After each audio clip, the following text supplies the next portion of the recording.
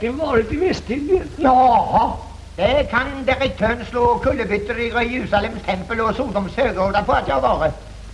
Och vill han höra hur det gick till så, så var det så här. Att, um, en gång så hade jag ett litet ärende till Västindien och jag pep iväg med ett oceaniskt atlantskepp. Och mitt uppe på ekvatoren så fick jag genomlida havskonung Neptunius stöpelsekalas. Jag fick krypa fram till tronen och kyssa drottningafoten som snakat tre håken. Och sen tog Neptunius överste medicinkokare och smorde in mig med välsignelsebringande skomakarbäck.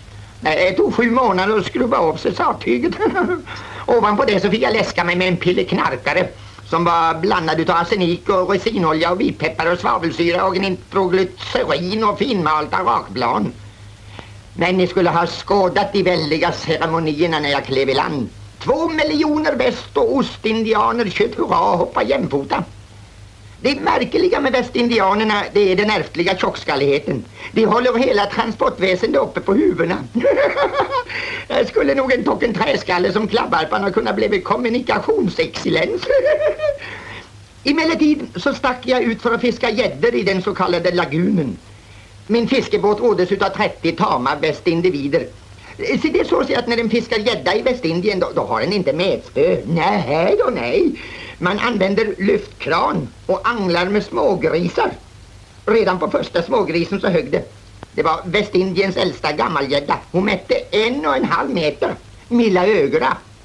Och när mitt fiskefartyg nalkade stranden så kom var eviga västindian rusande ut bland krokodilerna och strödde palmblommor och krakmandlar för mina fötter.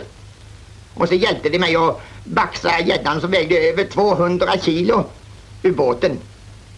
Och så tackade de mig hjärtligt för att jag hade befriat Västindiska oceanen ifrån detta glupande odjur. Kvinnor och män och till och med de små barnen tackade mig. Och sen skulle ni ha burit med fram på nattkröken. Då, då ställde de igång med en hula hula till min ära. Jädrar i det gubbar. Det, det svävar fram bland palmer i västindianskt månsken. Ja, varför blir man inte neger?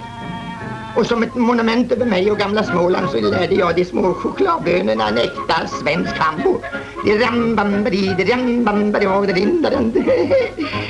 Ja, hur det hela slutar.